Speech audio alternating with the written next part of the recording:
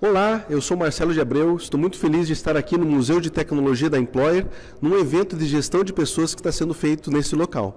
E eu peguei aqui no museu para mostrar para vocês um TK85, olha só que legal, gente.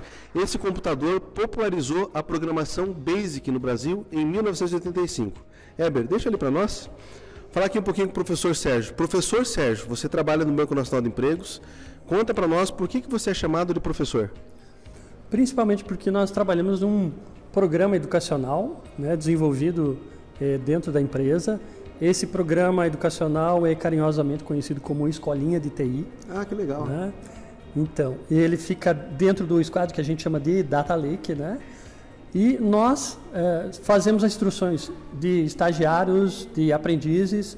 Nós formamos essencialmente né, alunos que vêm de, das faculdades, é, como tecnólogo, graduado ou da área de, de ITI, essencialmente, e damos toda aquela bagagem necessária da experiência corporativa necessária. Então, nós usamos ah, algumas metodologias de ensino, como ah, o ensino baseado em problemas, o ensino baseado em, eh, eh, em protótipos, né, onde eles devem desenvolver atividades no dia a dia e recuperando né, como uma bagagem é, daquele conhecimento que eles trazem, essencialmente abstrato, para uma vida real. Né? A gente quer que ele viva a experiência corporativa do mundo real, aonde eles vão desenvolver e vão aplicar aquela formação, ou às vezes recompor a formação, ou às vezes melhorar a, a, a formação, se eles não tiverem, e revisar também aqueles que já conhecem, e, só que aplicado exatamente a problemas reais que a empresa necessita, eles resolvem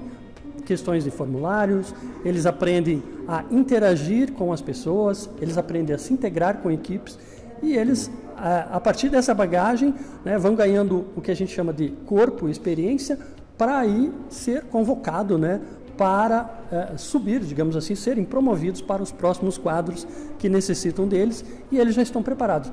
De uma mesma forma, a gente também gosta de identificar o perfil. Às vezes a gente percebe, não, esse tem um perfil mais para para front-end, esse aqui mais para banco de dados, esse aqui tem um perfil mais de back-end.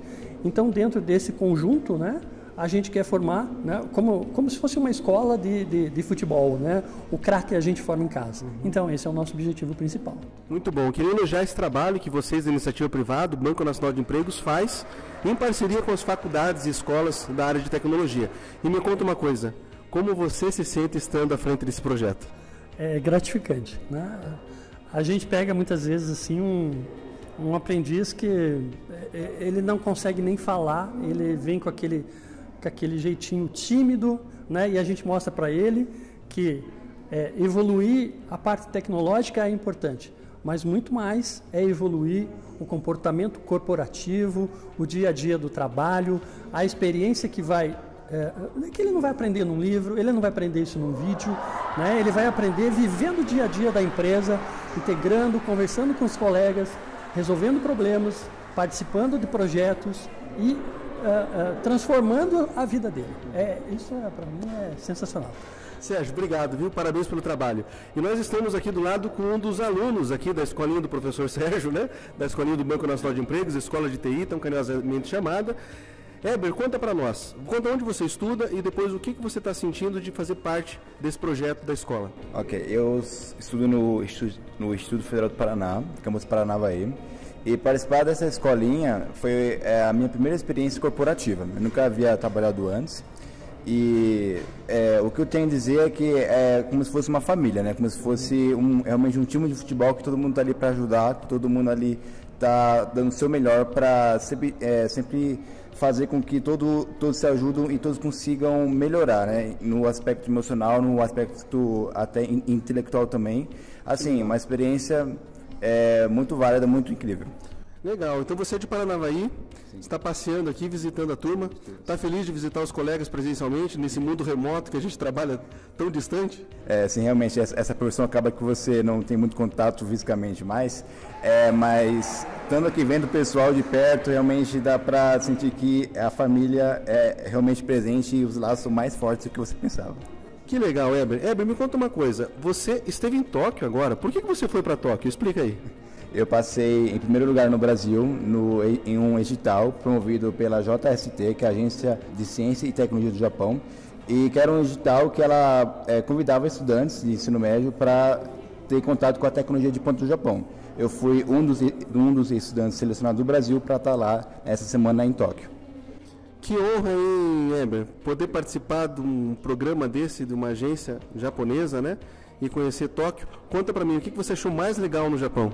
Olha, foi essa tecnologia de ponta que eles têm. Eu fui, pude ver hologramas, uma tecnologia que aqui a gente não tem ainda no Brasil. Uma te telas é, no ar que você coloca sua mão e elas interagem com você.